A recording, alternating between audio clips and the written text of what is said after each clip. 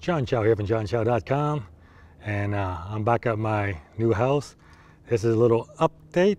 I want to show you the progress of the demo work. So uh, in the last video, I showed you, I guess, what the house looked like. Now I want to show you what it looked like again after we ripped up the floors and stuff. So come on, let's go check it out. As you can see, the, uh, the cars looks good. All right, check it out, guys. Uh, the floor's been all ripped up. Uh, the column, there used to be a column here. Used to be a column right there. We took that down. The Floor's been totally gutted. We are keeping the wood, gonna refinish it. The uh, fireplace, the stone's been ripped out. We're gonna replace it with new stones. And again, you see the floor, pretty much replacing all this with new tiles, kitchen area. There used to be a, a counter right here, a little breakfast island. We, we were moving that. And yeah, the, keeping the wood floor. This bar got removed. We're gonna change this area here when it's all done. We're gonna make a, basically a glass, right, Sally? Mm-hmm. Yeah, it's gonna, Sally's, you guys Sally's gonna be a walk on it. It's gonna be glass, and underneath you can see stuff below that. So, uh, so it's gonna be a new bar. Yeah, gonna redo the uh, the chimney here. Gonna basically remove all the old bricks. We're gonna make it modern and good looking. Yeah. And the kitchen. I said I got rid of all the, uh, the white appliances that was here. Gonna replace it with more modern one. Uh, I'll change, the, change that uh, microwave later. The sub-zero fridge is staying.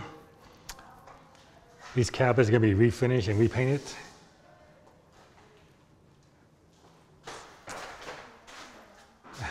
The powder room, the mirror's gone. Right there, this is the tiles we are gonna be using.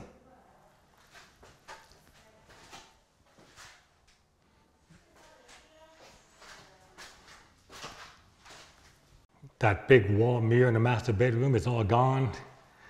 Gonna basically uh, repaint it, clean it up. And the chimney, I mean, yeah, the fireplace, replacing the bricks. This is the tile that we're gonna use for the, uh, the new fireplace. Gonna be very, very nice. And we're gonna change the, uh, this glass to, I think, one piece about to go. And the big thing here, this is, this is a big job. The, the master bath, completely gutted. We're changing all the cabinets. The shower is gone, the tub is gone. When this is all done, it's gonna be a night and day difference. I guess uh, this is the tiles we'll be using for the, for the master bath. And I guess these are the decorative pieces. So right now what we're doing is we're going around each room and showing what piece will go where so the contractor will, will know. Hmm, the other bathroom, so here you go, see? The tile ensemble, I guess.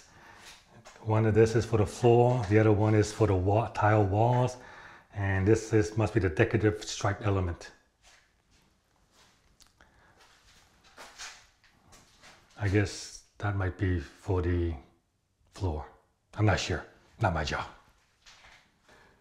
This is Sally's bathroom. The bathtub is gone. And this is the, uh, the tile pattern and color pattern Sally chose. She picked it herself.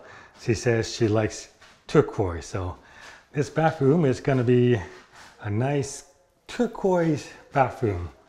Just perfect for a princess, I suppose. Last video, I said this was going to be a bedroom and downstairs was going to be my workout room. I have since decided that this will be my workout room.